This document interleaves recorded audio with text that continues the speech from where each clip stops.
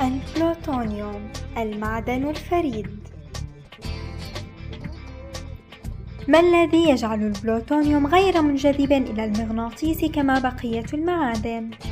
إنها إحدى الخصائص الفريدة للبلوتونيوم ما هو البلوتونيوم؟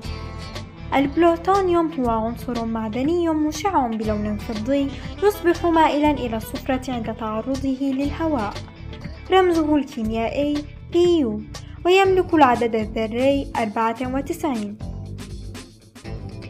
ينتج البلوتونيوم عن انشطار عنصر اليورانيوم في المفاعلات النووية ومعظم كمية البلوتونيوم الموجودة على الأرض هي من صنع الإنسان ويمكن أن يتواجد بكميات ضئيلة جدا في الطبيعة. على الرغم من مخاطره المحتملة إلا أنه يملك خصائص فريدة تجعله مفيدا في بعض الأحيان فهذا المعدن ينتج حرارة يمكن استخدامها كمصدر طاقة للأقمار الصناعية وأجهزة تنظيم ضربات القلب. إذا فما هي تلك الخصائص الفريدة؟ لمعرفة ذلك دعونا نتكلم بداية عن أساسيات الذرة. تدور الإلكترونات حول نواة الذرة وفق مدارات إلكترونية وكل مدار من هذه المدارات يملك عددا أعظميا من الإلكترونات التي يمكنه حملها. في المعادن العادية يبقى عدد الإلكترونات التي يمكن أن تتواجد في المدار الأخير ثابتا.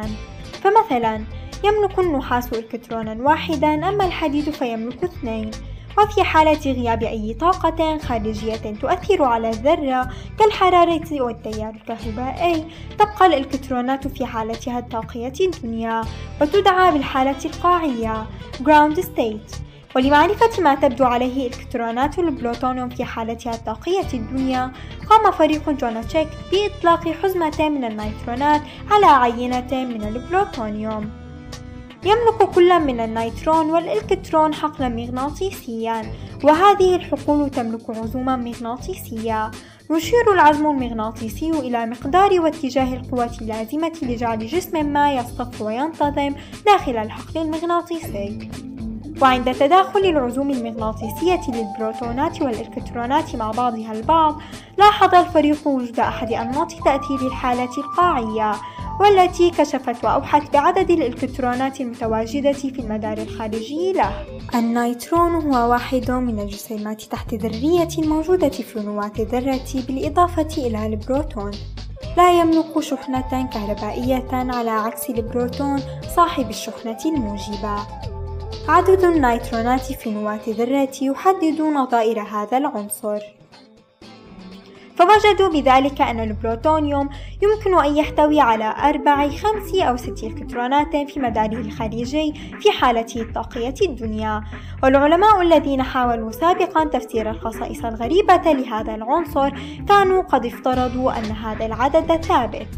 لكن ما وجدته الدراسة الجديدة هو أنه يتقلب بين التوضعات الثلاثة المختلفة. وبعبارة أخرى إنه يتواجد في التوضعات الثلاثة جميعها في الوقت ذاته.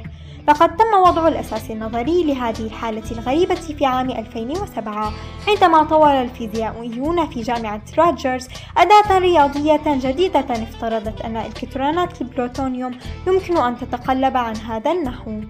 فكانت هذه التجربة هي الأولى من نوعها من الناحية النظرية والتي قد تثبت صحتها فعلاً.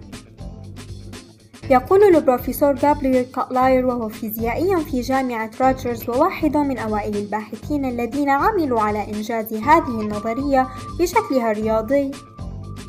إن نظرية تنبؤية رياضية كهذه في عالم المواد والعناصر تمثل أمرا بالغ الأهمية لأننا سنتمكن أخيرا من خلالها من المحاكاة والتنبؤ لخصائص المواد باستخدام الحاسوب.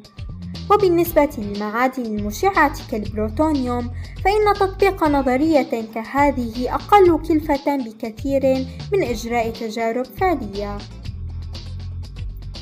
كما يمكن لهذه النظرية بالإضافة إلى ذلك أن تفسر إحدى الخصائص الغريبة الأخرى للبلوتونيوم فهذا العنصر يتمدد ويتقلص بصورة أكبر من بقية المعادن عند تسخينه أو تعريضه لتيار كهربائي.